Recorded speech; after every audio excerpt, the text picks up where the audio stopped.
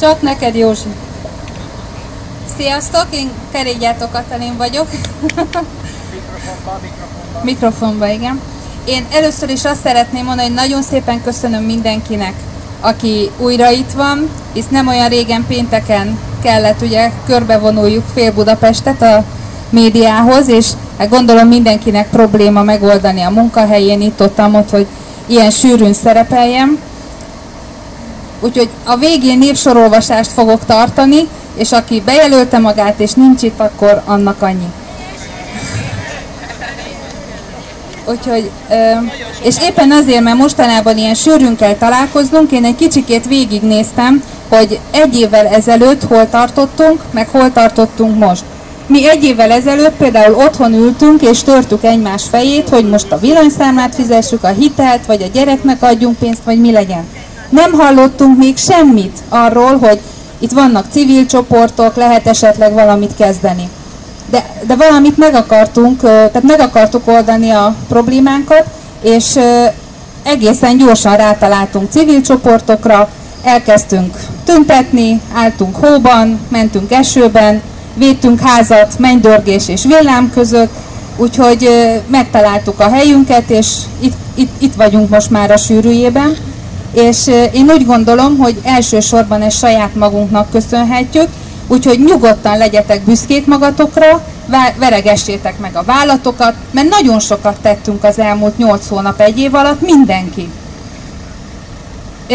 Ugye vannak, akik a jogi utat tudják és művelik helyettünk, vannak, akik megvédik a lakásokat, oda teszik magukat, bevállalják a pofonokat, esetleg a, a zárkát egy éjszakára, vannak, akik tüntetnek. A lényeg, hogy sok fronton harcolunk, szerintem ez nagyon-nagyon jó ötlet, és ezt tovább kell csinálnunk. Mindenkinek azt kell csinálnia, amihez úgymond a legnagyobb affinitása van, de menjünk, csináljuk, ne hagyjuk abba, nagyon sokat olvasok mostanában olyan kommenteket, hogy már egy kicsit fáradt, már elvesztette a hitét. Nem szabad elveszteni a hitünket, mert 8 hónappal ezelőtt csinálhatunk mi bármit, arról a kutya nem tudott. Most kimentünk az utcára, az egyik kedves társunk megfestette az egyik banknak az ablakát, tele volt velünk az összes híradó, a tévé, rádió, újság, minden. Igenis, most már figyelnek ránk, és számít, számít az, hogy mit csinálunk. Azért vagyunk most is itt, hogy a kormány előre tudja, hogy mit kell majd neki dönteni, ne utólag legyen az, hogy rossz döntést hozott. Utána sokkal nehezebb lesz őket rábírni arra, hogy számunkra kedvező döntést hozzanak.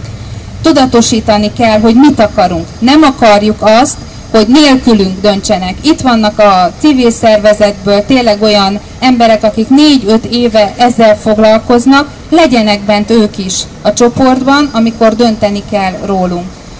Úgyhogy mi a radikális csoport elkezdtük például a képviselőknek a, a levélküldését, aki még esetleg nem tette meg, de szeretné. Van nálam levél. Nagyon szépen kérek mindenkit, hogyha lehet még augusztus elejéig, menjünk már el a képviselőnkhöz, kérdezzük már meg tőle, hogy mit tett értünk, ugyanis még ilyen nem volt, hogy a parlamentben felelősségre vonták volna a képviselőt, hogy mit nem csinált három év alatt. Tegyük már meg!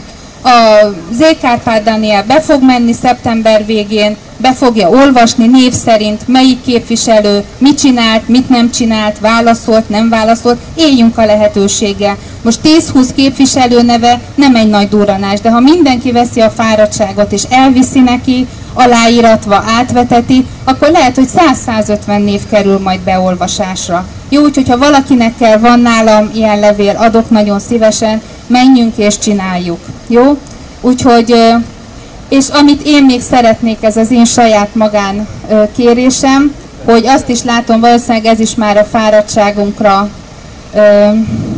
vezethető vissza, hogy többen vannak, akik néha veszekszenek, néha nem értenek egyet a másikkal.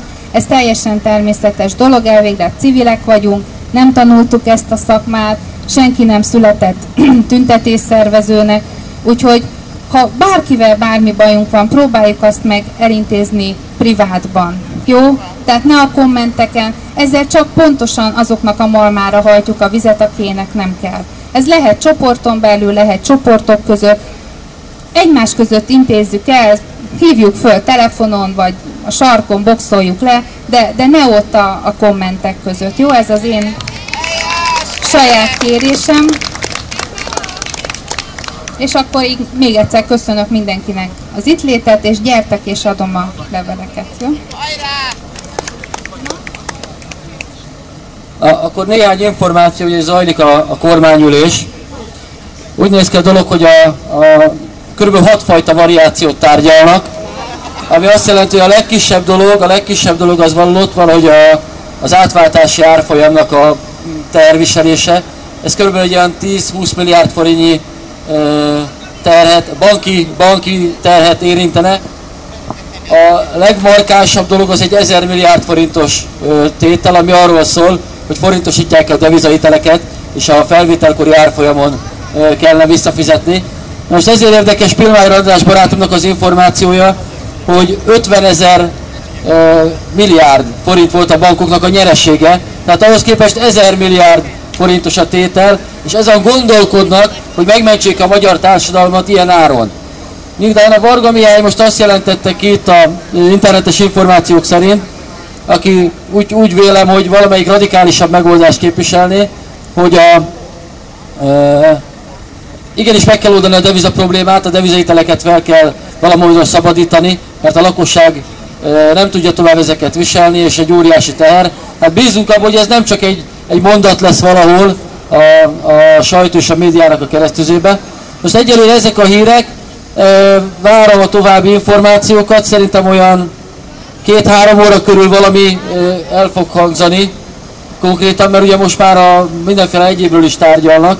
Minket természetesen csak a devizahiteles kérdéskör foglalkoztat most, és szeretném átadni a szót Fodor Sándornak, a Kiskunkaláka vezetőjének, aki szintén néhány nagyon fontos mondani valóval fog minket